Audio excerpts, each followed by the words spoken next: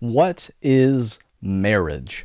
Today, it seems like the answer to that question is more important than ever. Now, this question can easily be answered biblically by reading and studying Genesis chapters 1 and 2. At this point, God has already finished creating the animals and everything else, but no suitable companion for Adam is found among all the living things that God had created. Genesis chapter 1 verse 26 says, Then God said, let us make man in our image, after our likeness, and let them have dominion over the fish of the sea, and over the birds of the heavens, and over the livestock, and over all the earth, and every creeping thing that creeps on the earth.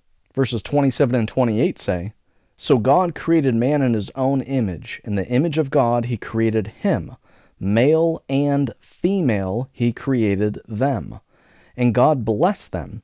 And God said to them, be fruitful and multiply, and fill the earth and subdue it, and have dominion over the fish of the sea, and over the birds of the heavens, and over every living thing that moves on the earth.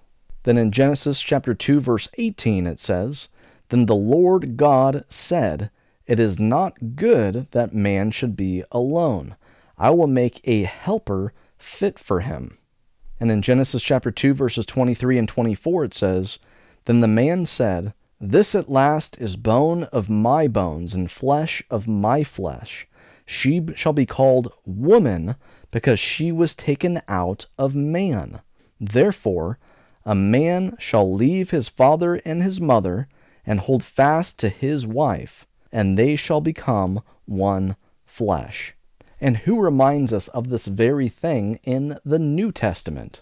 In the Gospel of Matthew, chapter 19, verses 4 through 6, Jesus said, Have you not read that he who created them from the beginning made them male and female? And said, Therefore, a man shall leave his father and his mother and hold fast to his wife, and the two shall become one flesh. So they are no longer two, but one flesh. What therefore God has joined together, let not man separate.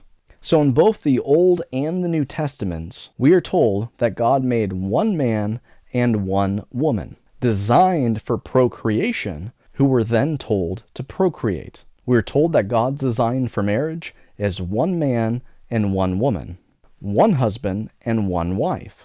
Now, based on what's happening in society today, it's important to bring up one of the most fundamental laws of logic, known as the law of identity. The law of identity states that P is P. Something is what it is and not anything else. So the law of identity reminds us that man is man, in other words, male is male, woman is woman, in other words, female is female, and marriage is marriage, in other words, one man plus one woman is one man plus one woman. However, another way to explain and understand this is through causality. The four causes that philosophers talk about are the efficient cause, material cause, formal cause, and final cause. The efficient cause is by which something comes to be. The material cause is out of which something comes to be. The formal cause is of which something comes to be, and the final cause is for which something comes to be. So I'm going to break this down even more to help it make sense. The efficient cause, or what can also be called the agent cause, is that which actualizes a potential or brings something into being, or in other words, gives it existence. The material cause is the underlying stuff or matter something is made out of. The formal cause is its function and structure related to its form. And the final cause is its end goal, or the ultimate purpose of a thing that directs it back to the efficient cause or agent cause.